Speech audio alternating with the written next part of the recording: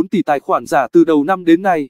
Ngày 13 tháng 11 năm 2019 Facebook thông báo đã đóng cửa 5,4 tỷ tài khoản giả từ đầu năm đến nay, nhiều hơn 2 tỷ so với số đã bị xóa trong cả năm 2018. Tin tức đã được công bố trong báo cáo minh bạch mới nhất của gã khổng lồ công nghệ về việc loại bỏ nội dung phản cảm khỏi trang web của mình. Gã khổng lồ công nghệ cũng đã gỡ 11,6 triệu tác phẩm lợi dụng trẻ em chỉ trong 3 tháng qua. Giám đốc điều hành Mark Zuckerberg đã trả lời qua điện thoại các phóng viên và cung cấp số lượng tài khoản giả mà công ty đã xóa để cho thấy mức độ nghiêm trọng của vấn đề này và kêu gọi các nền tảng khác theo dõi. Báo cáo cho thấy Facebook xóa 2 tỷ tài khoản giả từ tháng 1 đến tháng 3.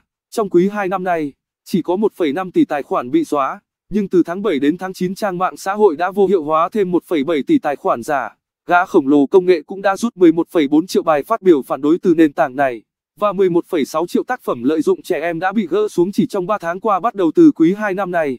Facebook đã sử dụng công nghệ mới để tự động loại bỏ các bài đăng có nội dung kích động. Trong 4 quý vừa qua, hãng đã chủ động phát hiện hơn 99% nội dung bị xóa vì vi phạm chính sách của Facebook.